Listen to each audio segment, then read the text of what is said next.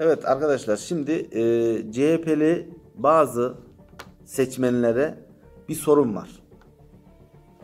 Hani hep bu Berkin Elvan, Berkin Elvan dediler de hani onu yücelttiler.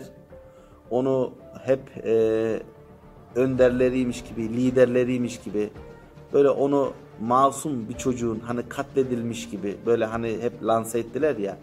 Hep Berkin Elvan'a adalet istiyoruz, özgürlük istiyoruz diye bütün sanatçılar, aydınlar, CHP'nin milletvekilleri, HDP'liler hepsi HDP'yi anlıyoruz ama diğer CHP'liler hepsi sahip çıktılar ya. Ben onlara şöyle bir soru sormak istiyorum. Berkin Elvan Şişli'de oturan birisi. Ailecek. Gezi olayları Taksim'de yapıldı. Taksim'le Berkin Elvan Şişli arasında 3,5 kilometre var. Berkin Elvan'ın eviyle Taksim arasında 4,5 kilometre var. Berkin Elvan Taksim'e ekmek almaya gelmiş. Hiçbir olayla alakası yokmuş. Sadece ekmek almak için sokağa çıkmış. Başına bu menfur o, olay gelmiş. Hani o gaz kapsülü kafasına gelmiş. 269 gün işte komada yatmış.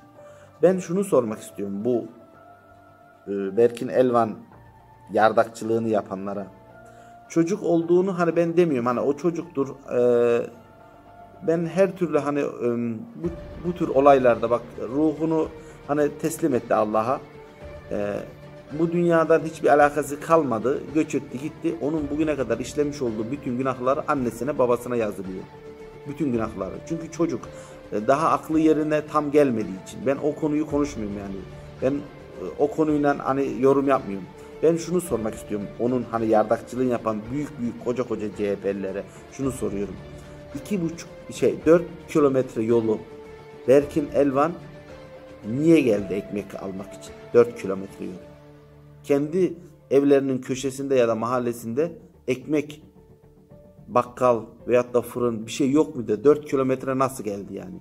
Neden siz 4 kilometre uzağa gider de ekmek alırsınız? Ben bunu CHP'lilere bunu sorayım. Hani ekmek almaya geldim diye babası televizyona ekmeği aldı masaya çıktı. Ekmek oğlum ekmek almaya gittiğinde katledildi dedi ya. Ben de onu soruyorum. Hani onun yardakçılığını yapan CHP'lilere HDP'ye sormuyorum. Onlar zaten belli. 4 kilometre boyunca siz niçin ekmek almaya gidersiniz?